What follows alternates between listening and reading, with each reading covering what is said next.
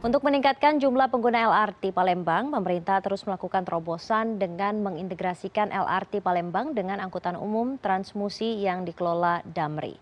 Dengan begitu, penumpang LRT yang akan melanjutkan perjalanan dengan transmusi tidak perlu membeli tiket lagi.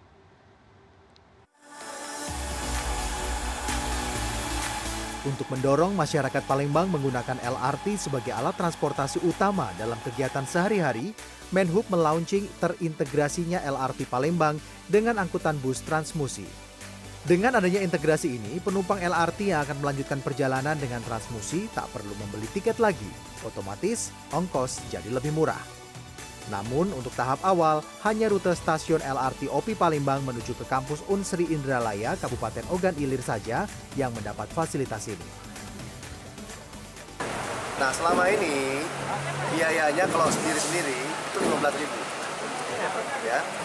Nah yang akan datang ini akan dengan hanya 7 ribu.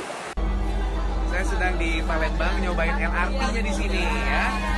Untuk lebih menarik minat warga Palembang, Menteri Perhubungan juga menggait sejumlah artis untuk mencoba LRT Palembang, di antaranya Syahrul Gunawan, Putri Patricia, dan penyanyi Anji.